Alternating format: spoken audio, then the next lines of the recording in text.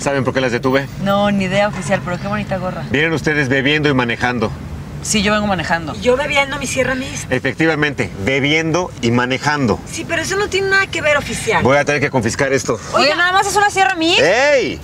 1314, 1314. Solicito refuerzos para controlar unas revoltosas por desacato de autoridad y exceso de maquillaje. ¿Yo? Las dos.